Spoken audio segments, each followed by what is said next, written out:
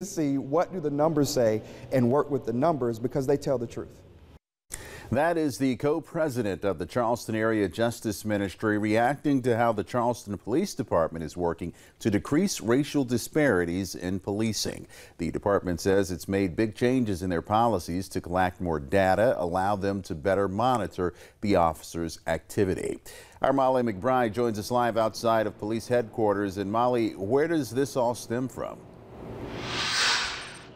Well, Ralph, CPD hired a third party to do a racial bias audit of the department in 2019. Over 70 suggestions came from that audit, some of them pushing the department to collect and track more data.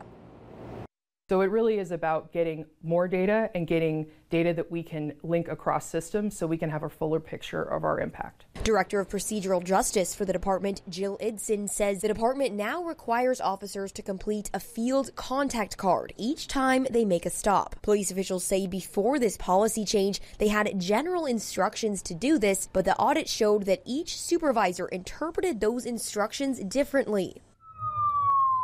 Eidson says officers are also now required to report more detailed information when they use force. That allows for more focused, more targeted analysis of the types of uh, forces that were used on which people. And body camera video. The department now keeps this video for 400 days. Before the audit, it was just kept for two weeks. That ensures that any complaints that come in after that two week period, there will be um, resources that the Internal Affairs Office would be able to review. Leaders of the Charleston Area Justice Ministry, or CAJM, say they think these policies will help data collection moving forward, but they're still interested in data from before and during the audit as well. How can we measure impact if we don't have the original marker?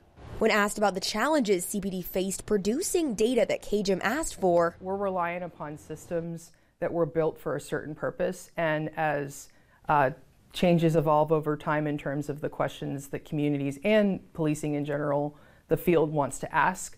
A lot of the times the systems don't keep up with the questions. Benton says after some back and forth on timing, CAJM and CPD have scheduled a community forum to review that data on September 18th. The time and location of that forum has not yet been decided. Reporting live in downtown Charleston, Molly McBride, Live 5 News.